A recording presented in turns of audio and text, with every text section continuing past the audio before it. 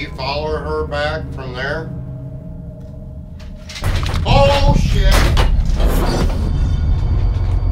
Did you die inside this house?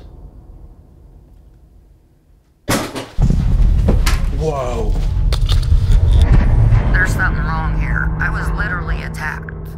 I had scratch marks down my back because whatever's in this house, it's evil.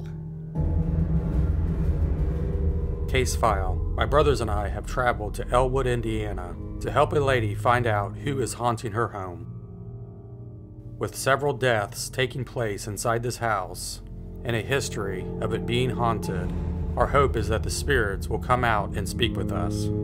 We had no way of knowing tonight we would document some of our most compelling paranormal evidence. I start praying and go to my bedroom, which is the room right here, and then they'll go up the staircase thing. I'm Miss Annabelle. Well, that's a creepy name, huh? This is their baby.